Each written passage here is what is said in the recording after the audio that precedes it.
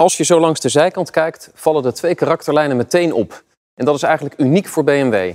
Samen met de vloeiende daklijn ontstaat een dynamische look en een prachtig profiel. En natuurlijk ontbreekt ook de Hofmeisterknik niet. Die heeft een iets scherpere bocht, helemaal passend bij de nieuwe designtaal.